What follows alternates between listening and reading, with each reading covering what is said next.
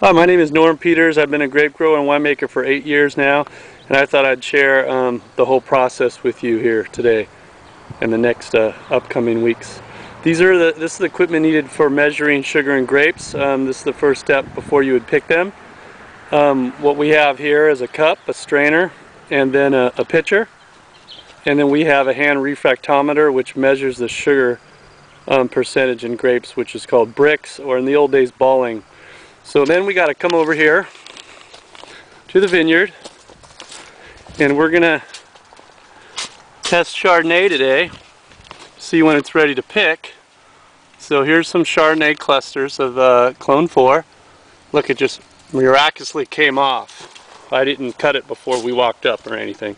So now I got the cluster and I'm going to put it right into a container and then I'm going to squish it up with my hand till it is pulp. Normally when you do this you don't need to have the cane there but I like to get my hands in there, get it real squishy. Take that out and squish it up real good. Then we're going to filter a little bit with our strainer and pour the grapes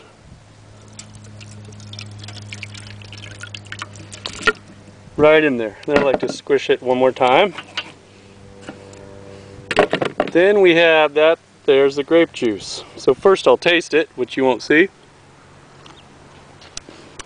Oop, now it tastes pretty bitter to me. It should be a while before we need to um, pick her.